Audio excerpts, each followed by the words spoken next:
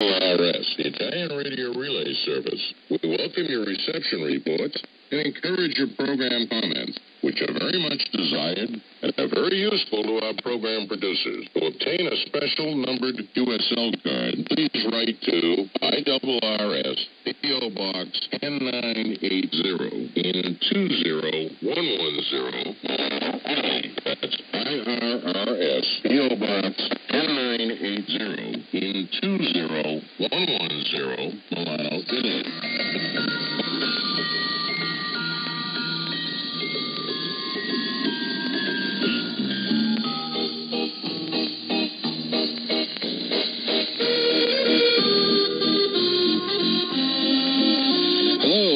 welcome to Wavescan, the international DX program from Adventist World Radio.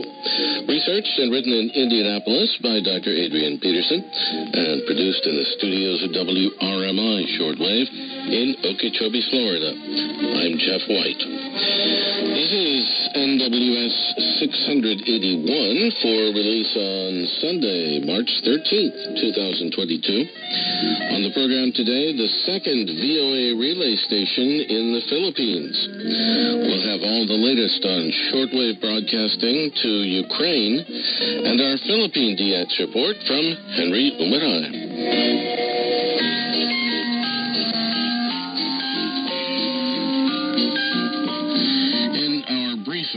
Series of topics here in Wavescan about the VOA, Voice of America, radio stations in the Philippines, they've presented the story about their first relay station, which began as a submarine operation under the call sign KZSO, which subsequently morphed into a land-based station, KZFM, in Manila City.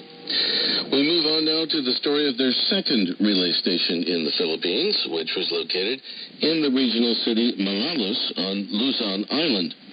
Let's go back to the beginning now with Ray Robinson. Thanks, Jeff. In October 1932, American radio station KSL installed a new 50 kilowatt medium wave transmitter at a new transmitter site at Saltair,